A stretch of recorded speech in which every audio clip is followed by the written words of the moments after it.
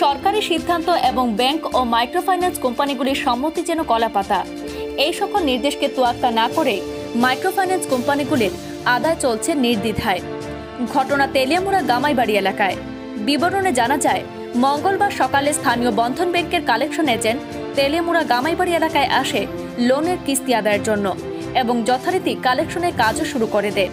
কিন্তু বিপত্তি বাধে যখন দিশা নামক গ্রুপের জনৈক মহিলা কালেকশন এজেন্টের দাবি অনুযায়ী সম্পূর্ণ টাকা দিতে অপারক বলে জানান। অভিযোগ, বন্ধন ব্যাংকের এজেন্ট মহিলাকে পুরো টাকা দিতে চাপ দিতে থাকেন। যদিও কালেকশন এজেন্টের কাছে ঘটনার বিষয়ে জানতে চাইলে অনেকটা আমতা আমতা করে অস্বীকার করেন।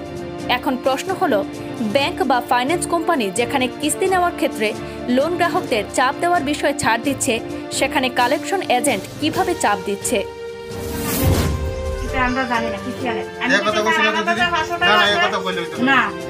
দিন দিন দিদি আমরা আমার কাছে পাঁচশো টাকা আছে এক আমি আমার কাছে পাঁচশো টাকা কাটাবো? না আমরা দুশো টাকা লই এর বেচতে চা আমি দুই টাকা দুই টাকা দিলে আমি লই না, আপনি পারলে আনেন নইলে না। নালে কথা তো আমার পয়সা না বলে আমরা পারলে আনেন। আর আমি তো বইয়ে রয়েছে কাটানো লেগে।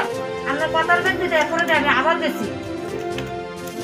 কিটা কইছে তাই আরে কই আপনি যা পারেন তা দিন ওই ওই না আমরা তো কথা কইছে না বলে যা পারেন তা দিয়ে।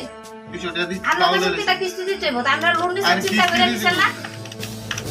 আমরা তো কইছে লোন নিছেন লোন চিন্তা করে তো নিছেন। তাহলে আমরা লোন দিতে আবার পরবর্তীকালে আমরা আমরা চিন্তা করে কথা দিব চিন্তা করছেন তাই না কইছি কি আমি কিস্তি দিতে পারতাম না টাকা নাই আমার কাছে ওটা আমরা লোন কইতে আনবেন আপনি ব্যবস্থা করে জানেন পাঁচশো টাকা আছে পাঁচশো টাকা না। আমরা দুশো টাকা লই গে আরে দিদি এক দিদি আমরা সাতশো টাকা কিস্তি তাহলে আমরা দুশো টাকা বলেছেন তিন বছর এবার কইছে। আপনারা? আমার এখানে বক্তব্য আগামী সপ্তাহে? এটা হচ্ছে ইয়া দিশা